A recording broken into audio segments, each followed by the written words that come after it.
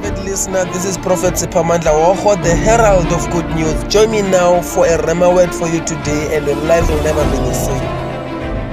Even we are saved by only by grace. Because khona izinto esizenzelwe nguThixo ngobaba. By grace you are healed.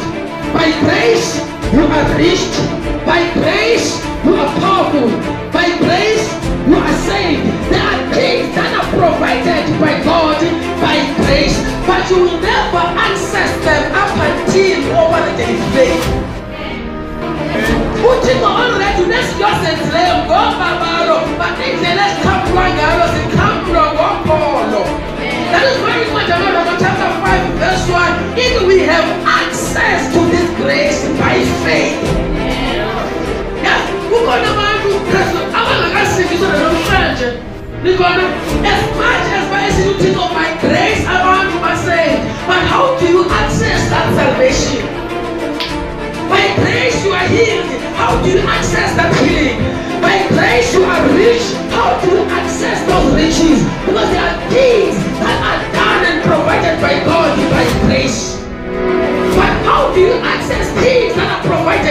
by grace, because salvation is by grace, healing is by grace, prosperity is by grace, everything that comes from God, it is by grace. But how do you access things that are provided by God by grace? If you want anything that is provided for you by grace, you access it by faith.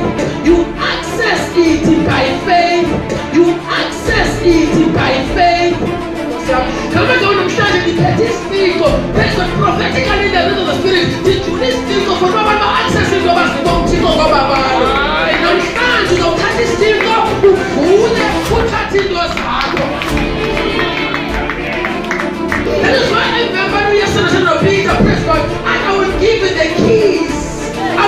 I'll give you the key. But I'm not going to kitu teki kwana mwana wani wistiniko kwana mwana wani wistiniko kwana mwana wani wistiniko kwana to wani wistiniko